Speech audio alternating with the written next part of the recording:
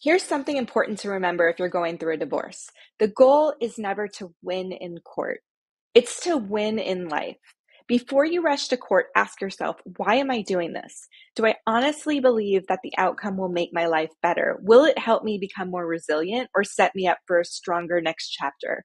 If the answer is, I'm doing this because I'm angry or because I think my spouse deserves a lesson, it's you that will lose.